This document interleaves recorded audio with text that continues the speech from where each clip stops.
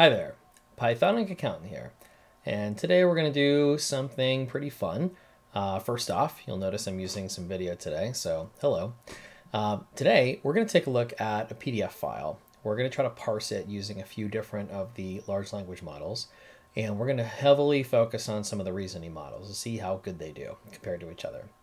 Um, then we're going to see if they can write some Python code, so that way we can automate this process going forward for this invoice.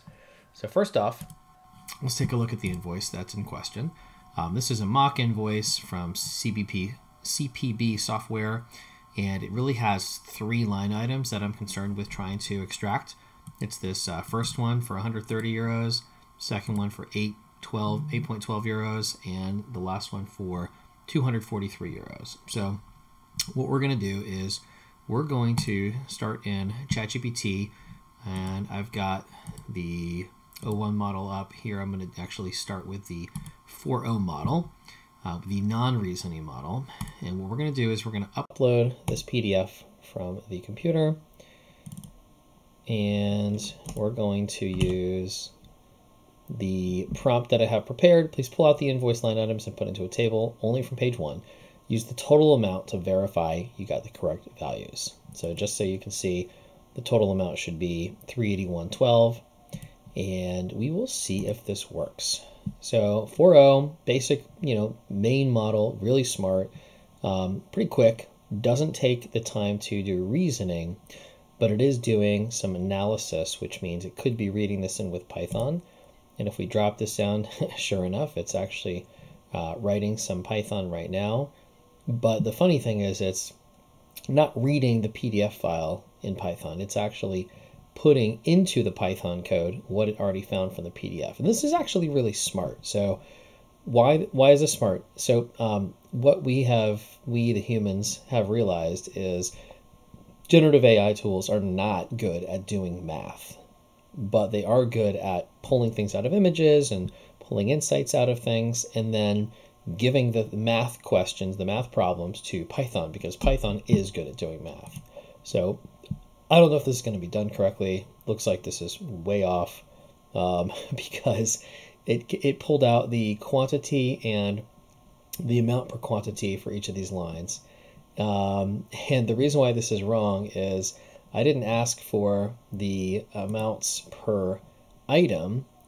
I asked for the actual total amount. I didn't specify that explicitly, but it should be smart enough to figure that out. It should also be able to figure out that the you know, one, I asked for it to, to cross-reference or check, compare against the total. It didn't do that. Didn't even talk about that. So this is a complete fail. Let's go over to ChatGPT with reasoning and see if it's able to be a little bit smarter here. So again, we're going to upload the file. We're going to use the exact same prompt. And we're going to see if the reasoning model o1 is able to do a better job than the GPT-4o. So this is going to take a little longer because the reasoning, by definition, requires it to take time to think about it. And what OpenAI decided to do is give us some insights, not complete transparency, but some insights into what's happening behind the scenes here. So establishing invoice totals, identifying line items, piecing it together, confirming the totals, and okay, this it's including the VAT, which is fine. Confirming invoice accuracy, so yes, using the net total of 381.12 looks correct. And let's see if it's able to get the line items to add up. And let's uh, take a look at the table that it created. Oh, this is looking good. So we've got the 130 line item, the 812 line item, and the 243. And it says the line items add up to 381.12, which matches the net invoice total shown on page one. So this actually found the correct amounts, um, the right column, let's see if it got the right line item. So should the basic fee WM view, transaction T1, transaction fee T3. And basic fee view, transaction fee T1, transaction fee T3. So this is a perfect, you know, this is exactly what I wanted. It gave me the line items, it included everything in the table, gave me a subtotal, and then matched that subtotal against the, you know, total in the, in the invoice. So this is awesome. All right, let's see what Claude's able to do. So I was trying to play around with it earlier and let's see if it uh, gives me kind of a similar result. So I'm going to give the same prompt here. And then I'm going to attach the file. Now, Claude does not currently have a reasoning model, but it is still highly intelligent. And I've been very impressed with a lot of what Claude has been able to do, um, including things like this. And it's also really good at programming. So we're going to see if any of them are able to give us good enough Python code to do what we're asking. All right, so this is a really quick response. It didn't do the reasoning steps, but it did exactly what I wanted, it looks like. This is awesome.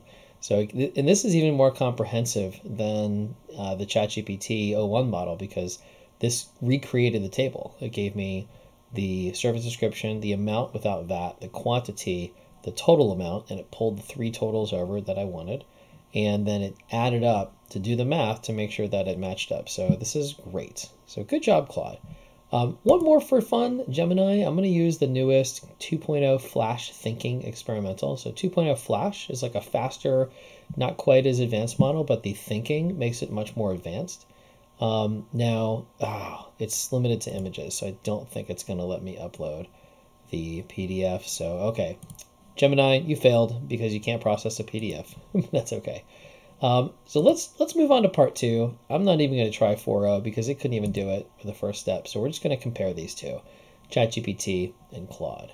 So what we're going to say is, um, great. Now write Python code that can load that PDF file um, at the path. I'm going to give it the path just so I don't have to retype it in next time the PDF file uh, path is this.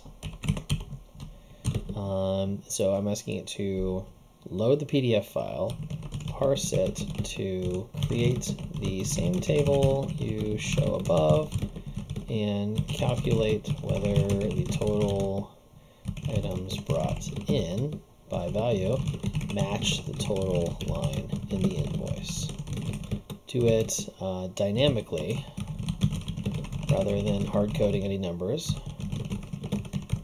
So I can run it on new versions of this same format invoice. I'm not really going to do that, but um, I'm really testing to see whether it can give me, you know, what I would want it to do if I was actually writing this, you know, some Python code in real life. So I'm, I'm guessing, because I've been playing around with this before, I'm guessing it's not going to get it perfect but it'll be interesting to see how good of a job it does. Whether it gives me, you know, an empty output or a correct output. Previously, I asked it to give me a, a, a, data frame, a pandas data frame. Here, I'm letting it decide what it wants to do. It'll probably still give me a pandas data frame, so I guess we'll see what happens. Um, I'm going to go ahead and kick off Claude as well to do the same thing. And I want Python code that can load the PDF. Boom, boom, boom. Okay. Let's see um, how they're able to do against each other. All right, so PDF Plumber is one of my favorites. That's great. It pulled the PDF path uh, in that I asked for, which is awesome. So let's go ahead and, um, and I've already installed PDF Plumber in this environment, so I don't need to have that in there. And I'm just going to run this and see what happens. Whoa. Okay. So, not bad. So we got the line item one that we're looking for. We don't know what this is. Don't know what this is. Don't know. None of this stuff is what we're looking for. Got the VAT amounts. Got the gross amount with VAT. So yeah, this did not quite work right. So I'm going to give this feedback back to OpenAI just to see if it can figure this out. Okay, here's what I got. Not great. Can you fix? Remember I'm just gonna say I'm just gonna say can you fix? Now, while that's trying to fix it, let's go and see what Claude gives us. So Claude has this nice little window over here. Um, we're going to take a look and see how it does. In um, some cases, Claude will actually render and run the code in this window, but it can't do that with Python. It can only do that with, uh, with JavaScript. So let's go over here and I'm going to start um, testing this out in the window down here. And just curious what library this one uses. So this is using the PyPDF2. I've also installed this one. Interesting choice using the decimal library. That's actually really smart. Um, whole nother whole nother thing we can do there. I think I've done a little bit of previous videos with decimals, but it's actually quite good when you're trying to avoid the issues that come with rounding. Um, and this sort of forces it to two decimal places. Whole nother topic we can go down another time, but um, I think that's pretty interesting that it decided to do that. All right, uh, I think we have an error here. I can see this is an issue. Return decimal. So let's see what it what it tells us. Um, invalid return decimal clean invalid operation. Interesting. I don't really know what to do with this, so you know what? Claude, can you figure it out for me? I'm just going to paste the error in and see if Claude's able to fix it. Now, I usually only like to give like one extra chance for these to see if they can fix it, um, and then we'll give up if not. Okay, this took 48 seconds to reason. That's a lot longer than it usually does. So let's see if it's able to get it right this time. So we're going to copy it. Now we're back at the uh, ChatGPT version here. So let's go back up to ChatGPT's. I'm going to replace this and give ChatGPT one more chance to get it right. Again, I don't need to pip install PDF Plumber, but I appreciate the suggestion. I'm going to run this. It didn't error, so that's good. But let's see what the output shows. All right. Oh, man. Okay. Got basic fee. Okay, so it, it, didn't give it to me in a table, but I didn't ask for it in a table, so I'm not going to argue. Um, if I asked for it in, I mean, I kind of asked for it in a table, but if I asked for it in, in like a pandas data frame, I'm, I'm sure it could have done that instead. But this gives me the 130, the 812, the 243. It adds up to 38112, 38112, and let's just make sure that it didn't hard code anything in here. And yeah, it did not. This is beautiful. I love it. Fantastic. Um, yeah, next time I'll make sure I ask for a data frame because that, that would be important if I was using this for real. All right, so we got version 2 here. Let's try one last chance for Claude. Can you get this code to even run, Claude? Code ran, and we have a discrepancy. Boom, boom, boom. Nice try. We got the 130. We got the 812. But we're missing one of the line items. So, hey, this is pretty good. I would say ChatGPT, I'm giving you a pass on this. Claude, I'm giving you a nice attempt. Needs more work. Not quite got it. But, well, that's it. Hope you guys enjoyed this video. Um, you know, if you like this, please subscribe and like and follow for more. And we'll see you at the next one.